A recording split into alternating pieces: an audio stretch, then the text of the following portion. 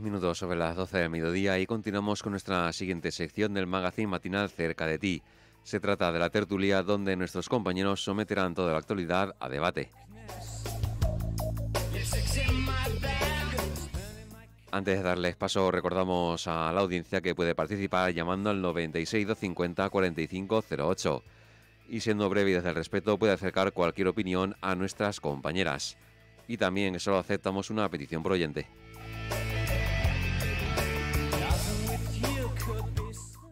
Así que dicho esto, saludamos a Luchi Saez y a Silvia Calvo, que ya están dentro. Compañeras, buenos días. Hola, buenos días. Aquí estamos, hoy estamos al 50%. Buenos días. Exacto.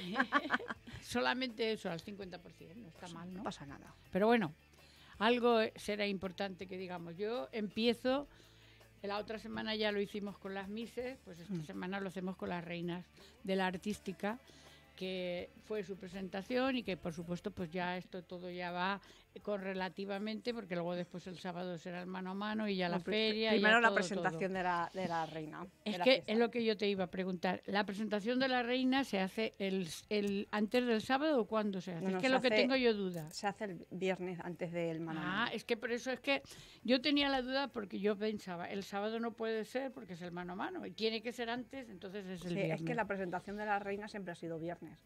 Ya, Primero pero- era el viernes de ferias, que se Ya. empezaban las ferias con la presentación. Luego al sacar el mano a mano sacaron la presentación y también la, los- la presentación de la, de la fallera de la Junta Local. Sí, claro, o de la Junta Local. Sí, porque claro, tienen que estar ya coronadas, como digo yo, porque si no, no podrían estar representando a, a, su, a lo que sea, tanto Claro. a los músicas como a las fallas, como lógicamente. Mm. Bueno, pues entonces el viernes pues me parecerá El estupendo. lunes ya. que viene, si hay, no sé si habrá tertulia, no sé, sí que habrá. Sí, eh, creo que Pues sí. felicitaremos a la reina de la fiesta. Felicitaremos a la reina. Bueno, a la fallera de la Junta Central Fallera y a la Junta reina de- del pueblo. creo que ¿no? de junta local no hay. ¿No? No, Ah, vale, pues bueno. no pues, se ha oído nada. Yo por lo menos no sé. no pues entonces felicitaremos a la reina del pueblo. Que esa sí que yo la he visto en fotografías, Sí. o sea, sí que hay. Pues vale.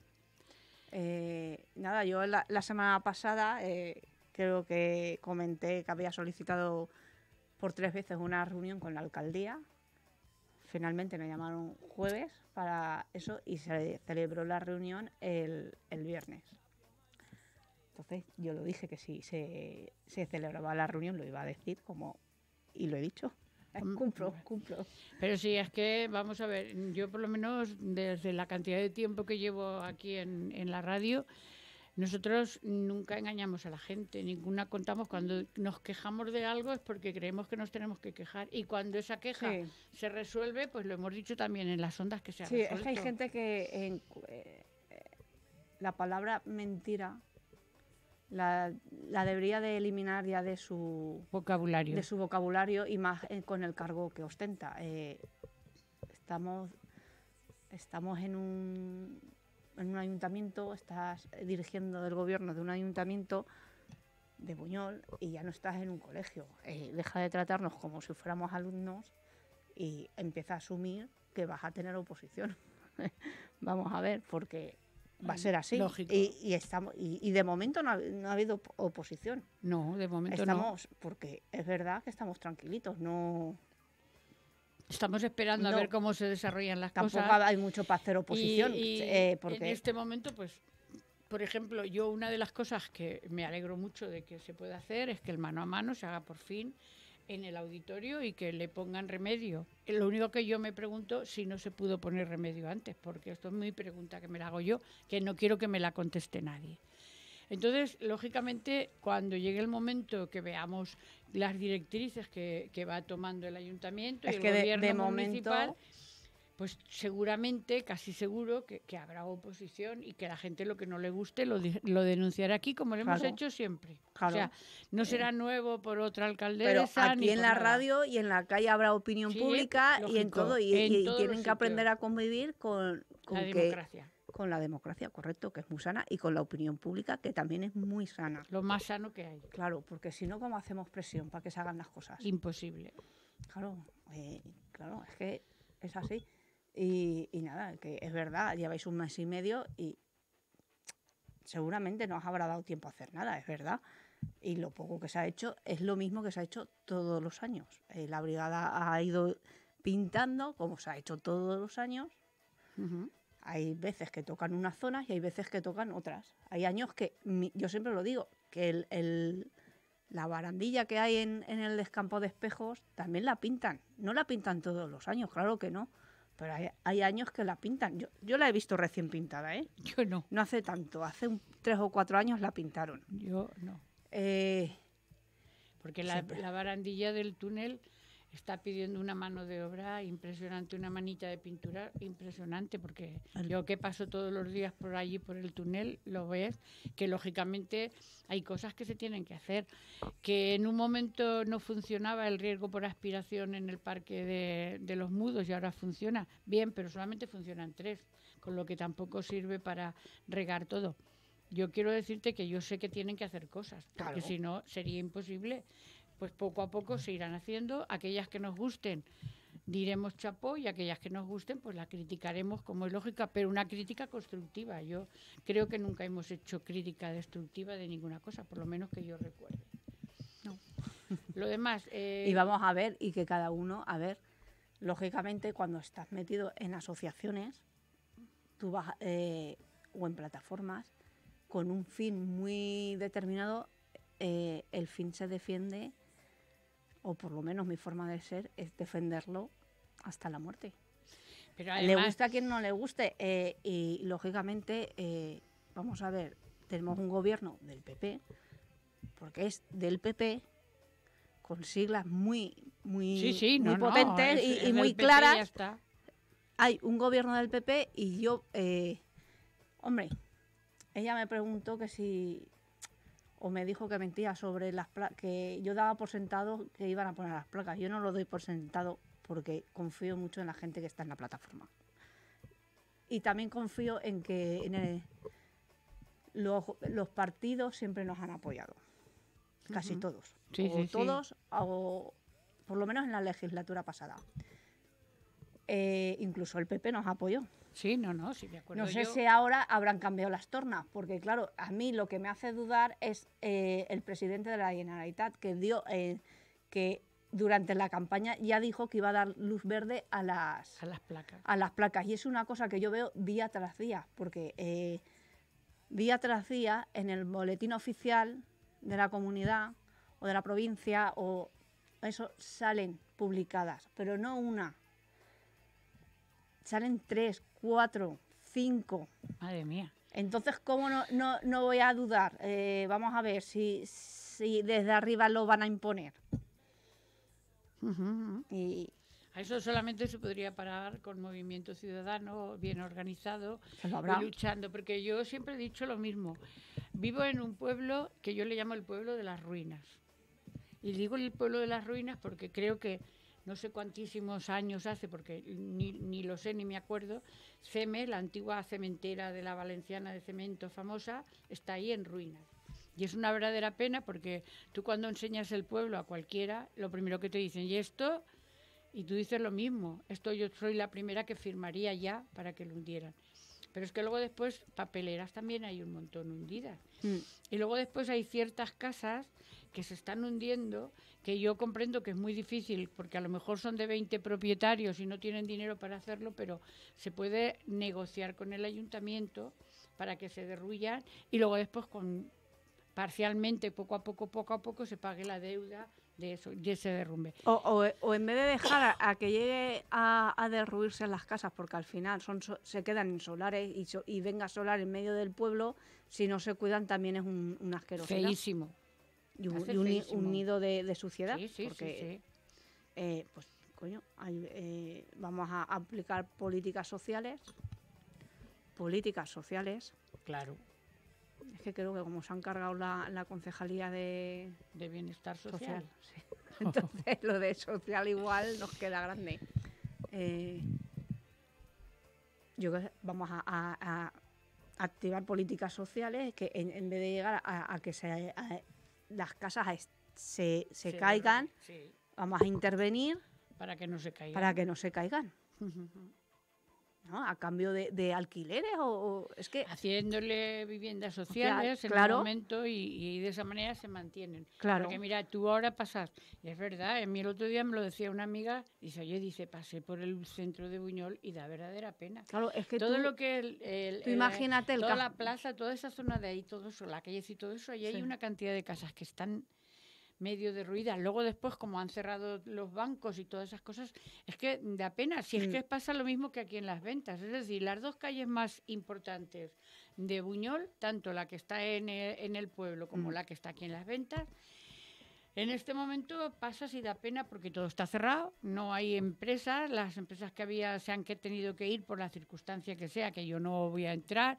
Ahora mismo el bar del Chaflán que estaba abierto ya lo han cerrado porque seguramente la, uno tiene un negocio y un negocio supone ganar dinero, no perder dinero.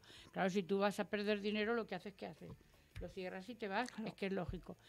Y lo de los bancos nunca lo entenderé porque no han dejado como mínimo dos bancos en las ventas. Nunca lo entenderé, por mucho que me lo quieran explicar y por mucho que me quieran decir. Porque media población de Buñol vivimos en las Sí. ventas. Y la otra media vivirá en el pueblo, pero aproximadamente un 50%. Y que todos, todos tengamos que bajar al pueblo, todos, no lo puedo entender.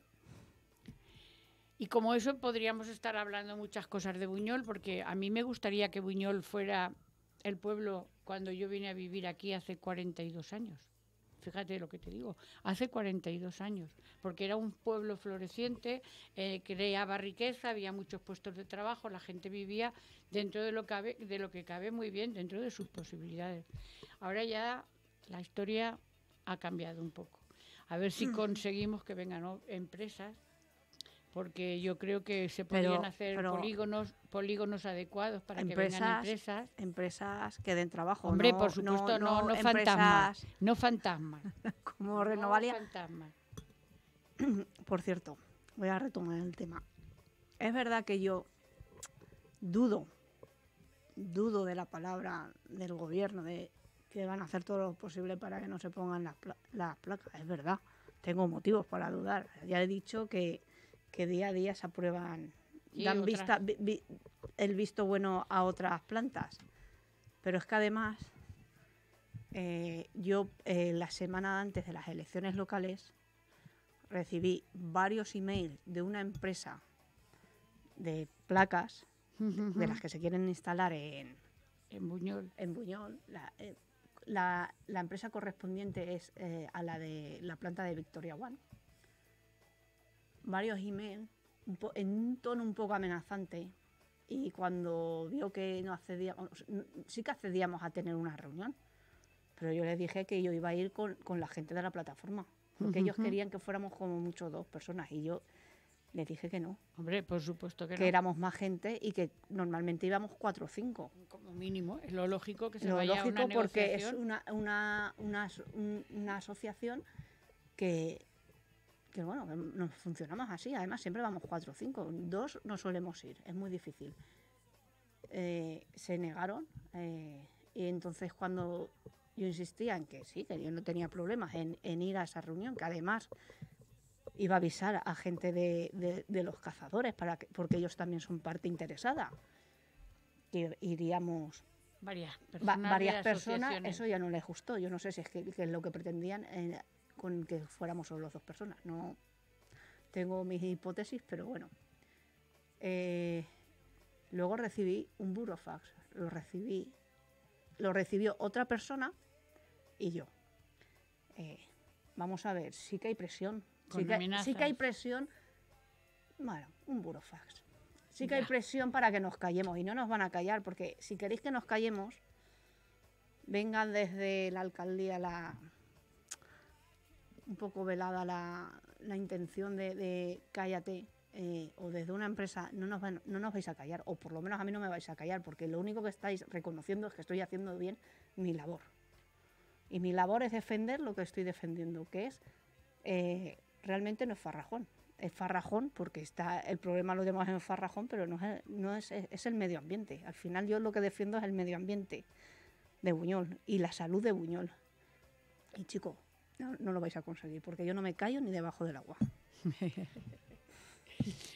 Bueno, yo en eso estoy de acuerdo contigo y que es un tema muy complicado, que yo entiendo que la gente se confunde y cuando se habla de placas solares todo el mundo piensa en electricidad gratis para el pueblo. Y creo que la empresa no lleva para No. nada eso. La empresa, según tengo entendido, la luz, lo que es la electricidad no se la va a dejar aquí, la va a llevar a donde la lleve, porque Claro. los cables pueden ir hasta, como digo yo, hasta Finlandia, si quieren, Claro. sin problemas. Y- ¿Acaso nosotros nos y- hemos quejado de la planta que van a poner en Cemex? No, No. no. Y tengo entendido que por el polígono va otra.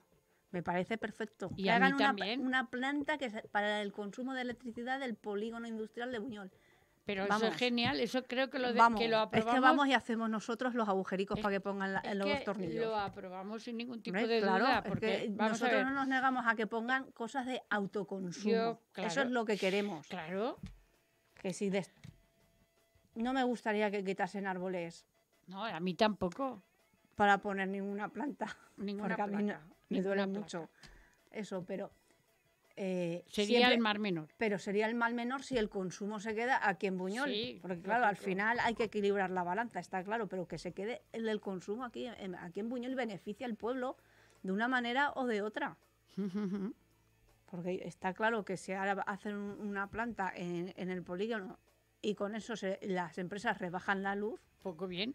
Eso también va a ser un atractivo. Hombre, un, un atractivo para que vengan otras empresas Claro, eso no y va- para no crear puestos de trabajo. Yo estoy convencida de ello. Claro. E imagínate lo que yo te he dicho antes. Si hundieran la antigua cementera, ¿cuántas placas solares se pondrían, se podrían poner ahí? Muchas. Y, y habría placas para todo el pueblo de Buñol Claro. posiblemente. Si es lo que tenían ¿Eh? que hacer, cada pueblo Entonces, su- yo creo su- que, que habría su comunidad energética claro. para abastecerse lo máximo posible. Claro. Está claro que eh, igual el 100% hay pueblos que no lo consiguen o ciudades. Pero, Pero otros bueno, sí. otros, otros pueden, sin arrasar, sin arrasar el- los parajes, ni Hombre, sean hay- súper o sean minis, eh, son parajes al fin y al cabo. Y al fin y Sí. al cabo, eh, por, aunque tú veas una, una carrasca medio que está ahí, la carrasca hace su función y al final produce oxígeno. por supuesto. Y sin oxígeno, sin luz podemos vivir, pero sin oxígeno, Imposible. yo tengo claro que no. Imposible.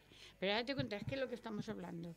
En ese momento determinado, ¿pondrías tú las placas solares ahí donde está el CM? Sí. Imagínate ahí, no le hacías daño a nada, porque eso ya... Eso ya está de devastado. vista- desde el punto de vista de, de vegetales no tiene ninguno, Claro. porque está de cemento de todos los años que esté, de cuando creo que la valenciana la hicieron por allá por el 1917, una cosa así, si mal no recuerdo, 27, bueno, que ya lleva ahí muchos años, que no le molesta eso- a nadie, Claro, eso ya y está que lo quería es dejar de tener una cosa fea, porque hoy día eso es feo. Lo contrario es decir lo que queramos. Sí. Cuando dicen es que, a ver, una, una empresa cuando produce podrá ser mejor o peor, más bonito o más fea, pero está Y produciendo que eso, a y está creando riqueza. y que la valenciana pero es- esa no sirve para nada. y, y que la, la fábrica de cemento blanco, porque es la de cemento Sí. blanco, eso es un peligro. Ya, claro. Ahí algún día se meterá alguien, Y tendrá un accidente grande. se, claro, porque la gente somos así. Hay gente que no nos metemos donde no nos llaman, pero hay gente Que se mete en todos los sitios. que se mete en todos los sitios. Y cuando haya un accidente, entonces nos lamentaremos. Allí hubo una fiesta que me acuerdo Mm, que tuvieron sí, que venir la policía a desalojarla y todo aquello, me acuerdo Sí, yo de sí, fue una, una noche vieja. Una noche vieja, Que yo me me- acuerdo. Y me tres o cuatro días estuvieron Yo me allí. acuerdo, era, era noche vieja porque me acuerdo que me levanté de año nuevo a sacar a los perros y yo decía, joder, qué vecino tiene aún la música. la música tan alta. Y no era un vecino, era la fiesta. La fiesta Ravel o Rebel, o no sé cómo se llama. Rave, sí. creo que se llaman. Sí. Sí, bueno, ah, bien. Y fíjate ahí, puede ocurrir que haya un derrumbe y coja gente dentro. Ay, y entonces, Y ahora pues, está peor, ¿eh? hombre, cada Claro, día, cada día está peor. cada día está peor, no nos engañemos. eh, tú, eh, tú dejas tu casa, la que tienes ahora, la cierras la puerta y no entras en, en cinco años y cuando entras dices, madre mía, ¿qué ha pasado aquí? Con que imagina aquello que está todo al aire libre, que por ahí, según tengo entendido, antes hacían prácticas la Guardia Civil o la policía Sí, o algo así. Y, y los de, Yo no sé, yo lo he los de oído eso. emergencia. Sí, eh, entonces la unidad, imagínate, la unidad de emergencias. imagínate cómo estará de, de vieja y de, de deteriorada. Sí. Yo solo veo salir conejos y entrar conejos. Hombre, lógico, porque Claro. aquella zona les viene muy bien. Claro, no, no, sí, sí, claro. Tienen seguro comida y seguro Sí, alojamiento. yo la verdad es que bomberos y eso sí que hay veces que están. Sí, sí, sí. Que claro, claro que al final a ellos les viene bien, pero claro. Pero tienes que mirar por el bien general del pueblo, claro no por el eh, bien general de los sí, bomberos, ni de la sí, policía, ver, ni de Que otra es un cosa. peligro, es un peligro. Eso ya está. Yo supongo que ellos mismos lo habrán dicho, esto es un peligro y sí. Yo también lo pienso. Bueno, eh, ¿hablamos del gobierno? Más. ¿Vale? ¿De cuál? ¿Del Hombre, yo creo que en este momento tenemos que hablar del gobierno que se va a formar, si es que se forma en las Cortes Generales, en los diputados y los senadores. Yo creo que ese es el importante. Sí, ¿Dónde- ¿Cómo están? Pues nadie lo sabemos. Las negociaciones las llevan en top secreto. Yo creo que no se ha desvelado nada de nada. Que hay negociaciones, seguro. Hombre, pero por, seguro, por- seguro, seguro. Por, ambas partes. Pero vamos. hombre, a ver, eso con toda seguridad. Ahora, Bueno, yo lo único que sé es que el PNV sí, ha dicho claramente que, que no, que no le va a dar el, el voto al PP. Ya, aunque aunque. Vox se retire, no le va a dar el voto porque siguen gobernando con Vox en, en otras comunidades. Ya, ya, por y al final es un, es un es el socio de. No, no, no, si está claro, eso está claro. Y yo, por el otro lado, pues que me imagino que Esquerra y Junts por Cataluña y todos esos también le darán el voto. Seguro que no le dan el voto a- al presidente en funciones, pues los, los canarios, como tú muy bien has dicho, los, de, los del Euskadi, El PNV el PNV que se abstendrá. El PNV se abstendrá. se abstendrá. Sí, Yo no lo sé. sí. Yo creo que si es Es necesario que, que, es que, vote, escúchame, votará. es que eh, yo creo que eh, el PP va a pactar con Vox de un, eh, Bueno, Pepe ya ha pactado va con vos en Vox, todos los sí, sitios. pero eh, de una forma o de otra, eh, formando gobierno, si no forma gobierno, le dará otras otras, prestaciones, otras eso, pero que al final es que los necesita. Porque ¿qué vas a tener? ¿Más gente en contra que, a favor. que a favor? Claro, es que tú para sacar uno- unos para sacar unos presupuestos los necesitarás. Preciso. Si no, ¿qué? Entonces, eh, vale, igual no tienen cargo, que menos trabajo para ellos, claro. Hombre, a mí lo que me Si ha hecho, no a mí, perdona, a mí lo que me ha hecho, la- la- me ha llamado mucho la atención y te das cuenta, digo, cómo se nota que todos esos políticos no juegan con su dinero, porque si jugaran con s- ese dinero no les darían el sueldo a los de Vox, estoy hablando del Ayuntamiento de Valencia, Mm. y sin darle concejalías. Es que no lo entiendo. O sea, yo te pago a ti todos los meses 20.000 euros y tú te quedas ahí sentadita y "Shh, cállate. Yo no lo entiendo. Yo creo que a mí no me gusta Vox, estoy en contra de Vox, mi forma de pensar, mi forma de ser, creo que para mí es el mayor peligro que hay en este momento en la democracia española. Esa es mi opinión y no me la tiene que decir nadie, sino la ratifico. Pero queda claro que si yo le pago un sueldo es para que quiero que haga un trabajo. Y si yo soy la que dirijo en este momento el Ayuntamiento de Valencia, le tendré que decir, tienes que hacer esto, esto, esto. Y si no, ya sabes, te quedas ahí de concejal pero sin sueldo. Y si no, romper pactos. O romper pactos, eso ya, eso ya a mí me da romper- igual. Pero Romper pactos, si, no, si veis que la gente no está de acuerdo eh, en que hayáis pactado con vos, que eso ya no lo quita nadie, no, no, no, no. eso ya... la- Es que lo de Valencia ha sido muy fuerte. eh, en- bueno, lo de Extremadura y Sí, pero mira, a ver, yo me en dejar Extremadura romper los pactos con Vox y, y, y y ya está. empezar a hablar de otra manera. Claro, y, retomar un, un, un diálogo con la sociedad más social. Hombre, por supuesto. Y empezar a hablar con los términos que corresponden, no con violencia interfamiliar, porque ya sabemos lo que va a significar el interés. Sí. Que de puertas para adentro, cada uno en su casa, que se apañe. Y si, y si te dan te dan un golpe y te, y te vuelan 20 dientes, pues ya te apañarás.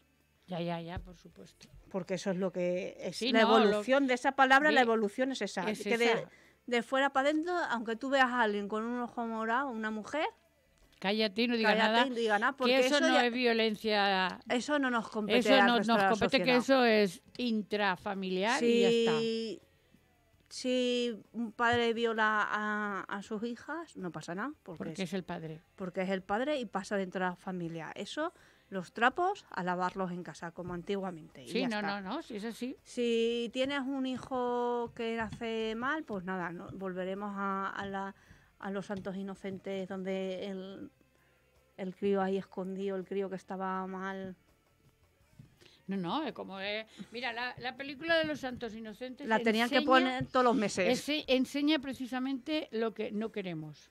Por lo menos yo, y me imagino que la mayor parte de la gente que tengamos dos deditos de frente. no Hombre, lo yo, yo no quiero ver a nadie rastrear Yo no eh, quiero. a, una, a una persona como un perro. Como si fuera un perro olfateando, yo no lo entiendo. Y estar aún encima con una pierna rota y hacerle que siga andando como si fuera normal, pues ya, la normal, ¿quién es? Claro. Pues es eso. Es una película que, que tiene un final que no te lo esperas al principio, pero que luego cuando vas razonando dices, claro, ¿cuánto odio le tendría ese hombre a ese otro hombre? Porque Claro. aunque fuera tontico, y digo tontico que es como lo, Sí. lo decían antiguamente, pues sabía muy bien lo que hacía y lógicamente le mata. Es que yo, al- al cuando le mata al pájaro, te lo digo en Claro, serio. es que es como... Es como si le matara a su hijo, como si le matara a alguien tan afín a él, porque es que él vivía de esa manera, era una persona que tenía una serie de deficiencias y que lógicamente en lo que se veía él bien era con su pájaro, con la milana bonita, la Sí. milana para allá, la milana para allá, y aquel porque no hay caza, porque no llegan los que él piensa que tiene que Pero no, la mata. no- no- no es porque eh, al final yo creo que no la mata porque porque no había caza, la mata porque era de- eh, la mata para para hacer daño a él siempre hacía daño. claro, era como yo soy superior a ti y hago lo Sí, que lo que me da la lo gana. que me da la gana. Y el derecho de pernada y todo. Yo una de las cosas que, por ejemplo, cuando dices, qué manera de humillar a las personas, cuando Claro. le hacen a la mujer a que firme, porque ya sabemos firmar, aquí ya no hay analfabetos, ya le han enseñado a hacer una firma y a eso le llaman que no hay analfabetos. ¿Ves, ves cómo avanzamos en este país? Sí. Por favor, yo digo, qué vergüenza más grande para esa persona tener que ponerse allí delante de todos aquellos señoritos, que no les digo el calificativo que pienso, pero que lo pienso, y tener que lanzar allí mi firma sin saber ni lo que digo, sino lo que me han dicho los cuatro palotes que tengo que hacer. Yo lo veo fatal, fatal, fatal a todos. Sí, los bueno, pero hay, a- hay actitudes de gente de ya no de Vox, sino del PP que, que es- sí, es, esa, lo ¿eh? mismo, lo mismo, lo Es mismo. esa que no, se creen que son. No, no se, da- no se Yo dan que no sé cuenta la que, definición que... que- le tengo que dar, pero se creen que están por encima del bien y del mal. Y no es verdad. no y sé. no es verdad. No, porque hoy en día, eh, vamos a ver, yo me muevo con mucha gente y yo pienso que de todo el mundo se, se aprende y, y aquí en España se nos creemos que por tener un título Ya somos alguien. ya somos alguien. Y a lo mejor lo- el que tienes en- enfrente tiene más títulos que tú.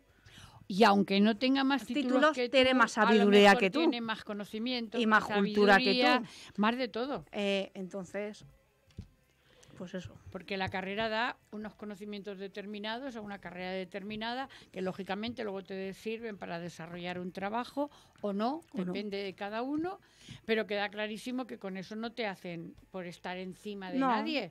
¿Eh? A lo mejor hay gente que no tiene ni una sola carrera y desde el punto de vista de conocimientos, Muchos de más. lectura, de tal, está Muchos más. mucho, mucho, yo- mucho más alto que yo, con toda seguridad.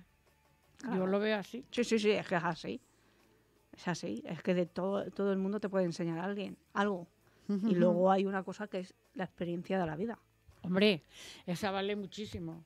Esa vale muchísimo. Muchísimo. Y Pero fíjate, estamos hablando de la experiencia de la vida. Ahora yo eh, eh, me pongo a pensar en una ciudadana normal, que es lo que soy, que no soy nada más que una ciudadana normal, en este yo. momento jubilada y que por lo tanto pues ya se ha terminado en ese sentido mi actividad. Y dices, analizo todos los años, todos los años vividos desde que hay democracia, que yo he vivido muchos años. Yo nací con el franquismo, viví con el franquismo hasta que murió Franco. por suerte, por, ¿Por suerte vivi- estás viviendo muchos años y muchos más que vivas. Sí, sí, no, no, por supuesto, que, que en ese sentido Pero que no vuelvas a vivir una dictadura. es lo que yo te quería decir. Entonces, a mí lo que más miedo me da es pensar que en algún momento determinado esa gente que no, no creo que le que, que piense lo que vota, les dé el voto ni al PP ni al Vox. No lo entiendo, porque son personas que si recapacitaran un poco y recordaran, porque algunas de ellas son mayores que yo todavía, luego han vivido más el franquismo que yo, recapacitaran un poco y pensaran un poco, no les darían su voto. Porque mira, una de las engañifas más grandes que nos han cometido a todos los españoles y a las españolas es hacernos creer que éramos clase media. Es decir, la, en, yo me acuerdo en mi época de estudiante que eran los asalariados, Mm. la clase media y los terratenientes o los, los que tenían las grandes industrias, los, vamos, en una palabra, los ricos. Sí.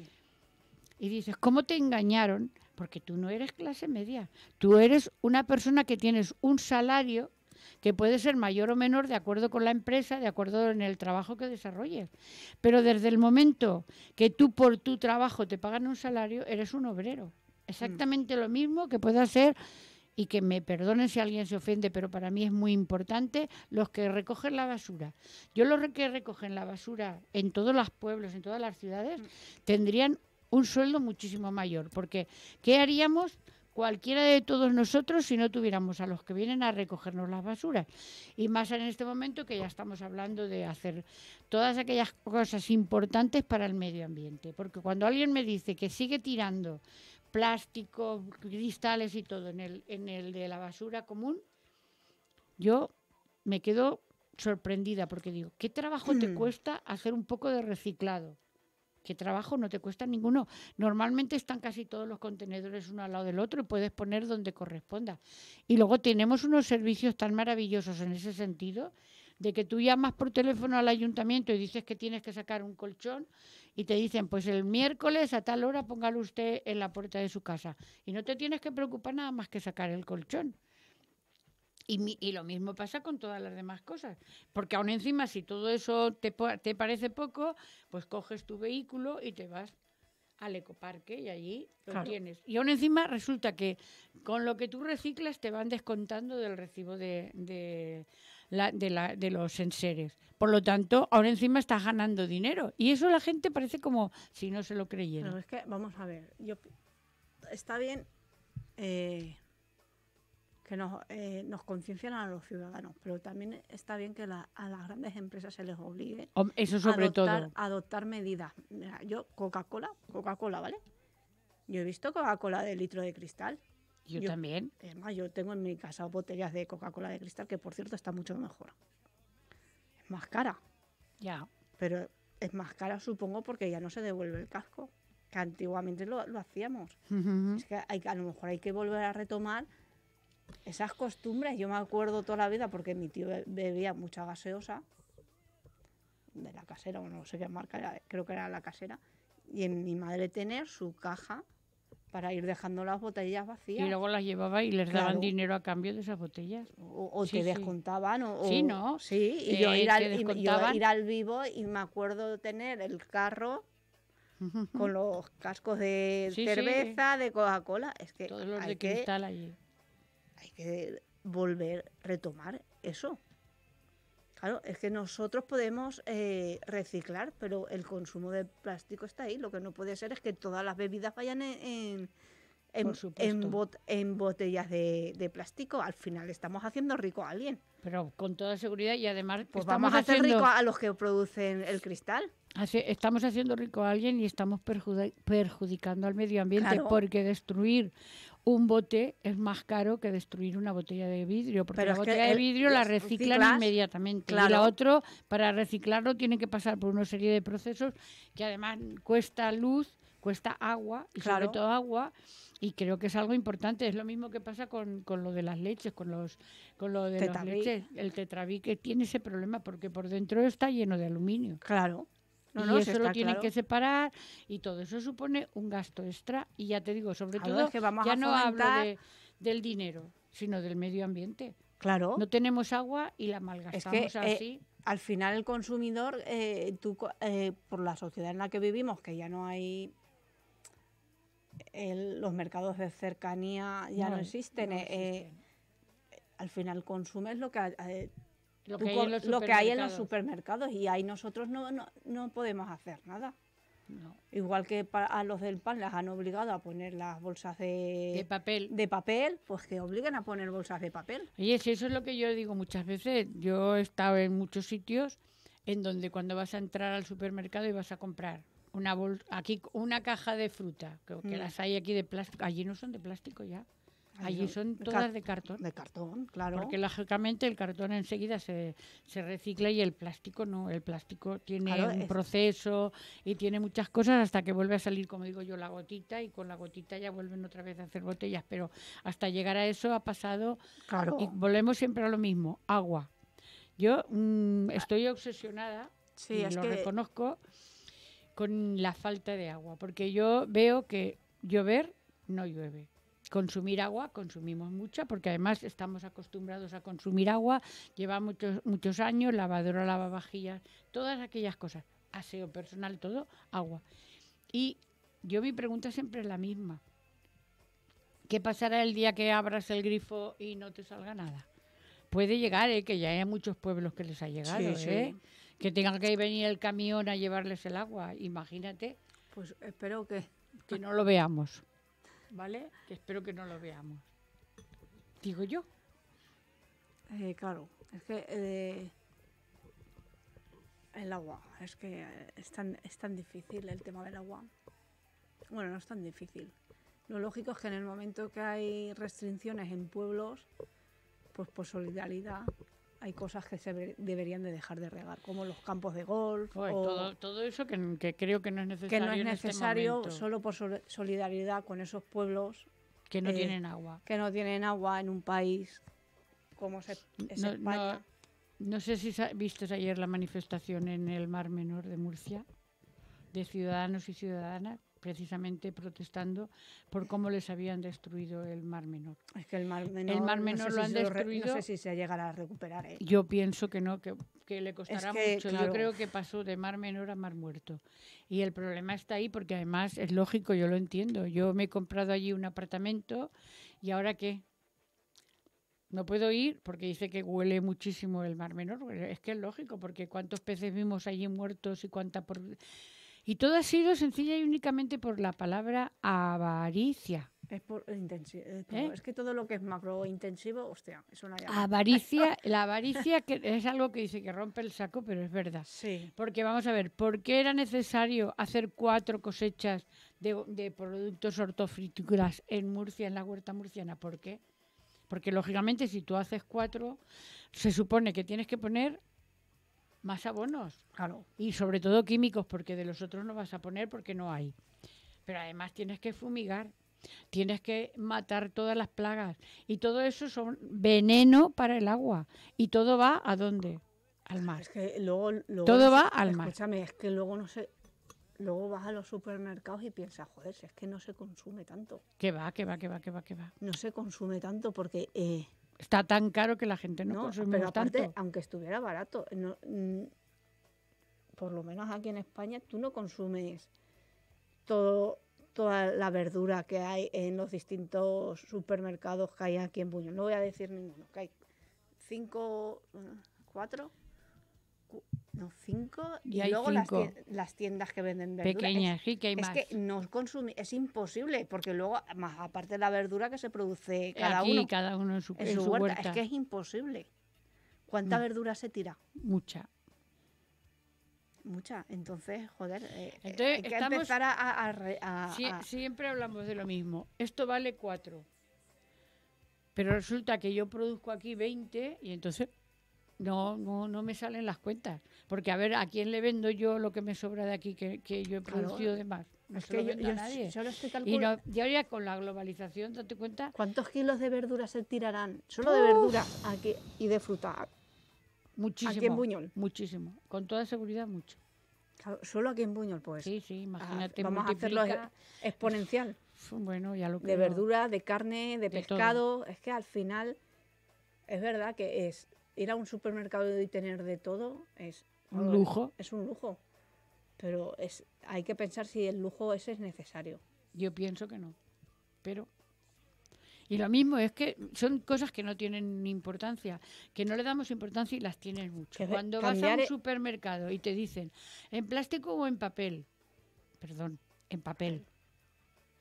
No, es que tendría que estar prohibido Claro. que se ponga en plástico. Tendría que estar prohibido ya desde hace mucho Claro, eh, tiempo. como sa- eh, Fíjate tú, cuando estábamos el pa- antes es hablando... papel craft ese, el que se ha utilizado toda sí, la vida. sí, que además que, se- está, que yo que me no acuerdo pa- que para planchar cuando te caía cera o venían muy resina bien. o algo. Sí, que venía muy sí, bien. es ese. El- el- es lo que estábamos hablando, porque yo sí que sé que en Alemania sí que siguen llevando la gente los cascos de todas las cosas y al final se lo descuentan de lo que compran. Por lo tanto, hay en sitios donde se puede hacer.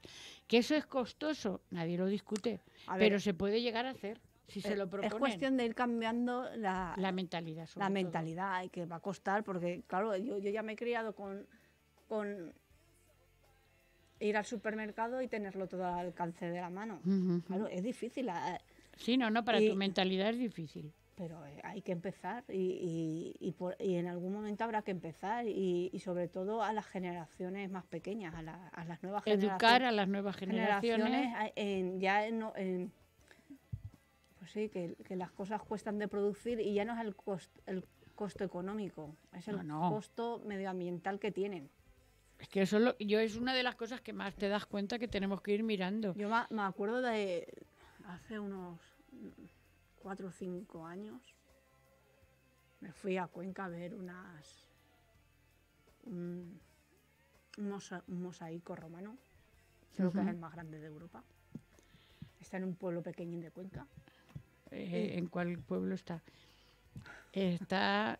No, no, Pero, es que yo sé que está, pero no me acuerdo tampoco sí, bueno, del es un nombre pueblo del pueblo. y- Pequeñito, es sí, un pequeño. pue- es un pueblo muy- eh, o sea, Bueno, pero es igual. En Sí, el de- pueblo ahora de lo Cuenca. busco, vale, Vale. ahora lo, de- lo busco. Eh, y allí, allí tenían problemas de... Noya, es Noya, sí. mm, Mosaico Cuenca. Y allí tenían problemas con las macro, macroplantas de cerdo, las Ah, macrogranjas. las macrogranjas, claro.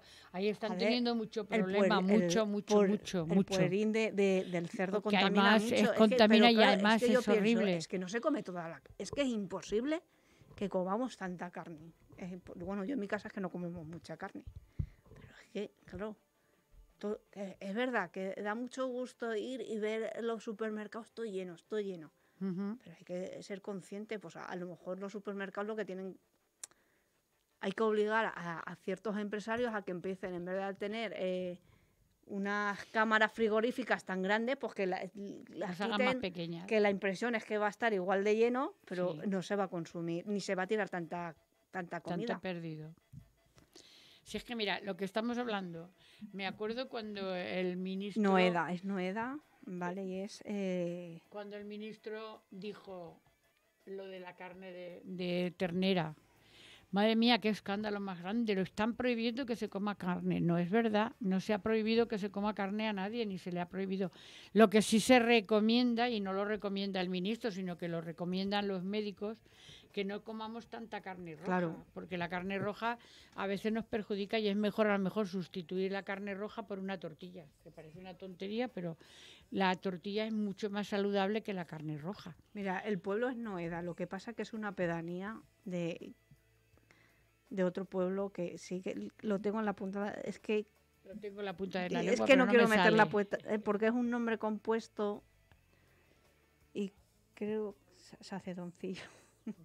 Es de Villar de Domingo García. Es que me salía el domingo, pero no me acordaba de.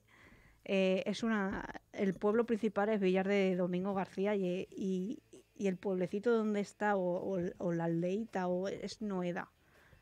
Pero yo siempre. Es súper recomendable ir a ver ese mosaico porque está súper bien conservado y además es una excavación que no tiene muchas subvenciones y, y se ayuda a. se le ayuda a poder Sí. seguir con ella. Sí, sí. No sé, ahí en Cuenca hay tres sitios muy buenos. sí, en Cuenca hay mucha, mucha de antigua de, Sí. de los antiguos romanos, ya lo creo que Sí. sí. Selgóbriga está fabuloso, no sé si lo has visto, Sí, tiene un yo he ido a, a, castillo. Se- a Segóbriga, he ido.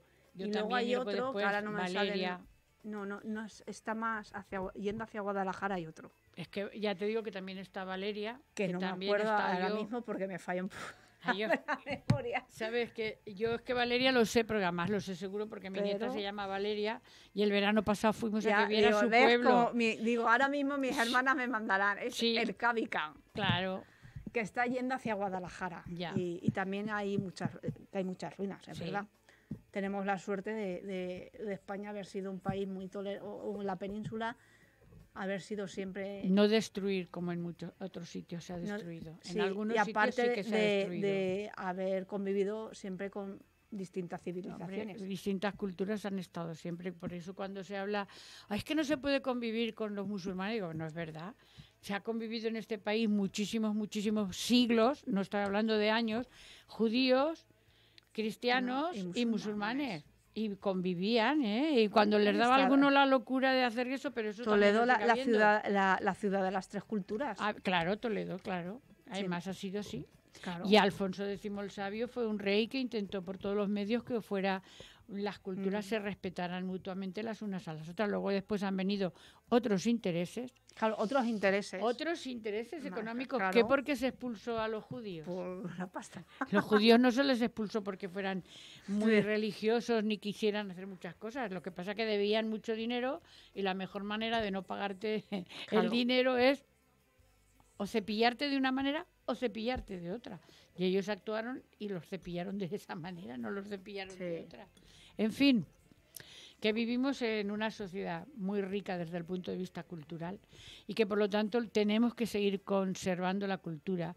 Y desde luego yo a los que han borrado, a los que han destruido las obras de, de los mejores poetas del mundo, como ha aquí en este país, que además han, aquí como en el caso de Chiva, que hayan quitado unas frases que además no son ni tan siquiera de ideología política. La cultura tiene que estar por encima de todo. Claro. Y a mí, La por cultura mucho que me la quieran libertad de decir, expresión. lo que te iba a decir, la democracia empieza cuando hay libertad de expresión y libertad de opinión. Muy importante también. ¿eh? Porque parece una tontería, pero si yo tengo libertad Sí. de opinión, queda claro que tendré que decir las cosas distintas a ti. Y a lo mejor en aquel momento por eso no me tengo que enfadar contigo. No. Podemos llegar a acuerdos y si no podemos llegar a acuerdos, acuerdo, pues cada uno nada, es que- sigue su camino y no se preocupa de nada. Y, discutir es bueno. Hombre, es, es bueno y es buenísimo, sano. Es buenísimo. Yo estoy de acuerdo Pero- contigo. Claro, no pasa nada, se discute, se debate, se eso y no pasa nada. Pero lo que no, lo que no es bueno son las imposiciones. Ah, no, no, no, no. no. Intentar, hacer ninguna- intentar cerrar bocas o, No. o- o No. voces discrepantes, eso es lo que no es sano. Eso es lo que no debemos de, de Eso es lo consentir. que no es sano. Lo que no debemos de consentir. No, no lo vamos a consentir. El otro día a mí me hacía gracia el otro día porque me, me llamó una amiga y dice, oye, ¿es verdad lo que me han dicho? Pues no sé lo que es verdad porque hay tantas verdades por ahí. Que tenéis un vicepresidente torero. Digo, claro, el Barrera creo que se Sí, llama. Digo, Barrera. Barrera. Vicente ¿Barrera? Barrera. Sí, dice. ¿Y ese qué va a hacer por la cultura? Digo, "Ja, ja, yo no lo sé. Por lo menos por la cultura de la muerte del toro. Seguro que seguro que seguro que sí. Mm. Para permitir que haya más embolados y más cosas, seguro, seguro que sí. Digo, estoy convencida de ello, no Sí. me lo tiene que decir nadie, estoy convencida. Y yo para mí eso no es cultura. O sea, pero no es ahora, ¿eh? Eh, Yo llevo muchos, muchos años, muchos años que me ha parecido que matar a un animal como se le mata, porque aún encima cuando me dicen, no, perdona, los animales los matamos para comérnoslo. Y eso es una realidad porque somos omnívoros y Sí. comemos carne, y comemos verdura, y comemos fruta y comemos pescado. Digo, pero mm, para diversión, siempre me ha parecido horrible cuando hemos visto las películas de los romanos, los gladiadores, gladiadores allí matándose delante y la gente aún encima aplaudiéndoles y pidiéndoles estar. Pues ahora cuando vas a ver una corrida de toros, ¿eh? Yo lo pienso, lo miro desde ese punto de vista. El toro vive en la dehesa, donde está libre, donde corre, donde come, donde está con eso. De golpe lo cogen, lo meten en unos camiones, lo llevan a los corrales, que son los toriles, según Sí. tengo entendido, y los dejan allí hasta el día que los tienen que sacar a la plaza. Cuando los sacan a la plaza hay un señor que los está esperando y enseguida aparecen otros señores que les ponen banderillas y aparece un caballo con un señor que le pon- los pica y al final del todo, pues, lógicamente llega el Y yo torero digo, y, y- y- todo y ese- en plan guapo y lo mata. El toro, el- porque, la- el- porque los animales sienten. Hombre, claro que sienten. Sienten Hombre, a ver. y, piensan. Lo que pasa es que seguramente nosotros no, no llegamos a entender su pensamiento o no, o no estamos, claro, no estamos dentro de, la- de su cabeza, pero eh, en ese momento el, el- el- Yo es cualquier que me animal, imagino que cuando sale a la plaza Ah, de ve- toros a la arena que- se tiene que decir, ¿y esto qué? es?". O sea, esto es que que yo lo pienso. eh, eh, cuando le empiezan a, a clavar ba- banderillas sin tener un depredador, porque eh, no sé, porque claro, un- yo cuando una gacela ve un león y sabe que tiene que salir huyendo y nota el peligro. Hombre, claro. Y sale huyendo, intenta, intenta, intenta que no la maten. Pero el toro es que no creo que sepa ni, Ni- ni ni- piense en el peligro. No, Para nada, porque él no puede pensar que esto que le están haciendo es algo peligroso, no puede. Lo que sentirá ya cuando le pongan las banderillas, que creo que son seis las que les ponen, y yo las he visto, El dolor, y es un ¿no? gancho así de grande, y, la pica, la pica del picador, Ay, qué tal. o sea, lo piensas un poco, entonces dices, si lo menos grave de todo al final es la muerte, Claro, no, si la muerte es al final con lo que descansa el pobre animal, Pobre eh, animal, es ya. lo que le da fin a la tortura. Ya, ya, ya. ¿Verdad? Es que, que, que fiesta. Cuando dicen que es cultura, yo es que de verdad no creo en absoluto que Yo sea esa cultura. Yo no estoy de Que acuerdo. los no. toreros van muy huepos con esos trajes y que llevan unas capas muy bonitas y que llevan todo eso, vale, pero, pero todo lo que viene después para mí no es cultura. No sé si has visto alguna vez cómo hacen los, los portugueses con los toros. Sí, no, no las he visto porque yo no soy taurina. No, no, yo tampoco. Entonces no, no eso, pero sí que sé lo que son las corridas a las portuguesas, que, es Sí, que, no, que no los matan. no los matan ni, ni les pinchan. Ni les pinchan. los saltan por encima, llega un momento determinado y el- hay- a lo mejor hay seis o siete y llega el toro corriendo y ellos los saltan Esos son los toro, recortadores. los recortadores, o sea, pero no las corridas no son de sangre.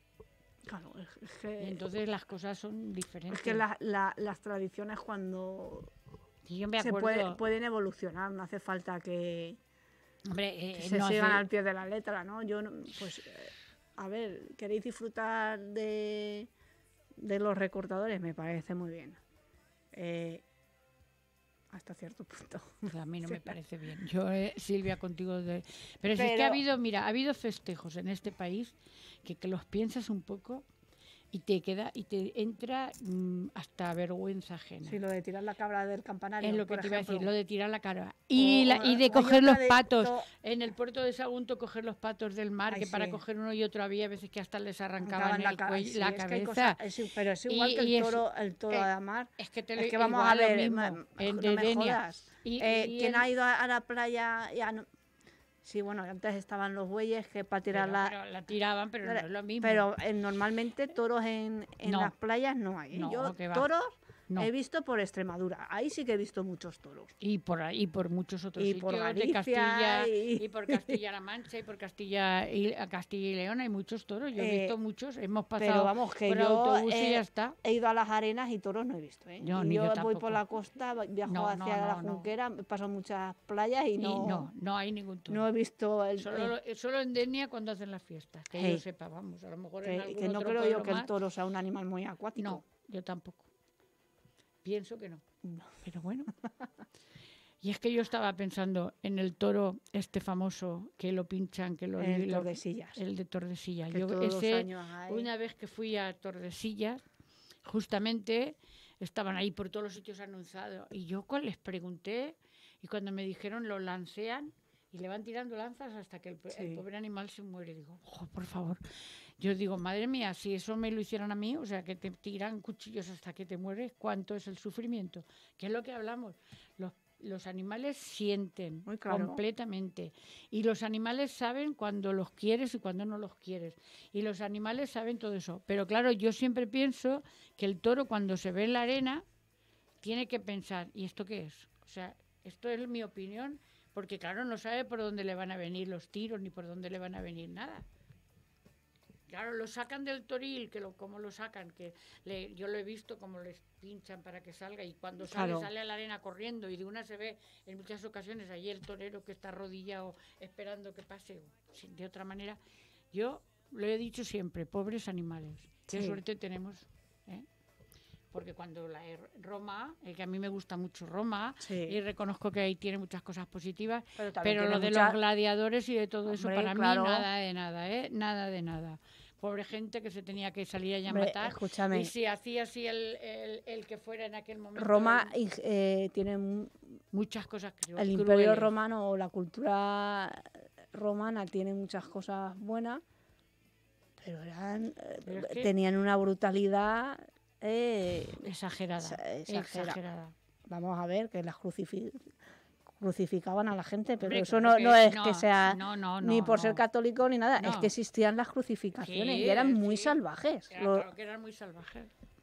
vamos a ver. Y, Gracias a y- Dios. eh, Y luego después llegué- yo una de las cosas que siempre he pensado es eso, es que tú ahora coges y hay muchos boxeadores y muchos luchadores y todas esas cosas, pero pero no van hasta el final y no les ponen el, ba- el No, dedo boca abajo para matarlos. yo me acuerdo de ha- haber estado en Mérida, en el teatro, Sí,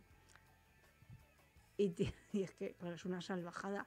eh, y te pon- eh, tú pasas, hay un pasas por un- uno, de los accesos a la, a la, a, a la a la plaza, arena, lo que sí. era. No era el teatro, sería un circo.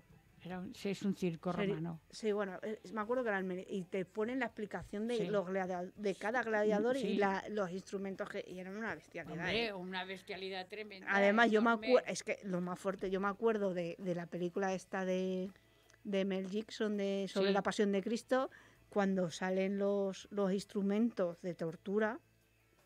Que usted, Ah, pero es que date que- cuenta, perdón, date cuenta Silvia, que es los que seres es- humanos, los seres humanos somos los más crueles de todo el mundo, porque date cuenta que hasta hace muy poco tiempo se torturaba a la gente, bueno y de hecho se sigue torturando a la gente, Mm. ¿eh? en este sentido, pero es que cuando en una ocasión que que yo es la única vez que no sé por qué, porque nunca me ha gustado, pero aquella vez entré a ver los instrumentos de, de tortura que utilizaban para los herejes españoles, eran en, de España, no estoy hablándote de fuera, para los herejes españoles. ¿Pero qué herejes?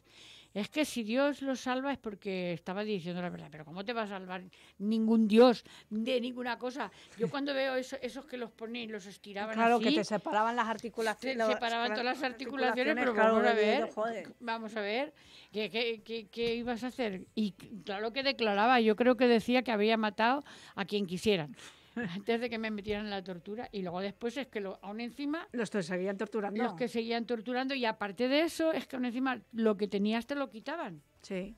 O sea, es que el ser humano, qué Somos cruel somos muy crueles. Porque tú el león sabes que se va a comer a la gacela, pero es que es su alimento y es, es- Sí. es lo que hace. No, no va a decirle, te pego aquí un bocadito No, y mañana además, otro norma- y otro. normalmente los animales son Intentan matarlo lo más rápidamente posible.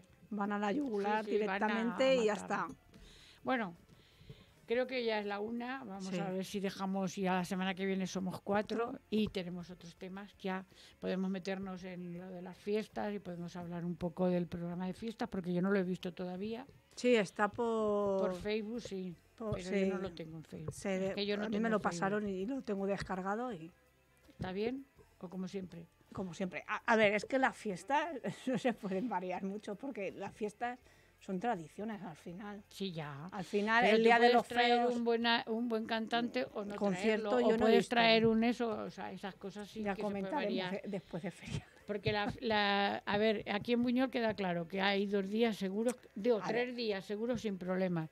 El de los feos, el de los litros y el de las músicas. Sí, ¿Que lo hacen quién? Las bandas, Los no, músicos. pero escúchame, en todos los pueblos eso, la- yo, en- yo cuando la gente dice, Podía variar la no, fiesta. las fiestas es que siempre son igual, en todos los pueblos son siempre igual. Está el día de las paellas, el día, nosotros el día del mojete, en, en otro pueblo está el día de los disfraces, el día de las cenas de las quintas, el día del barrio de no sé qué. Todos los años en todos los pueblos las fiestas son iguales porque son las fiestas no dejan de ser Fiestas tradiciones, tradiciones y ya está. Y aquí el pues son eso, el mano a mano, el día de la tomatina, el día de San Luis, el día de las músicas, el día de cada banda. Y, y- y tampoco te puede salir mucho de eso. Puede salir, eh, sí, en traer un concierto mejor, un concierto eso. Mira, ves, una de las cosas que a mí me da mucha pena que lo hayan quitado, que yo creo que le daba muchísima vida, era la verbena que se hacía en la plaza del pueblo. Las verbenas, por la noche había verbena, la gente iba a los chiringuitos Sí. a tal sitio, pero aparte tenías ahí la verbena y pasabas y te gustaba quedarte un rato y escuchar. Ahora todo eso hace que no exista, por lo tanto, mm, yo creo que eso les ha hecho daño a, a- a la- a lo que es la restauración. Sí. yo, ¿eh? Pero bueno, Sí, como no mandamos en, en nada, no podemos decidir nada.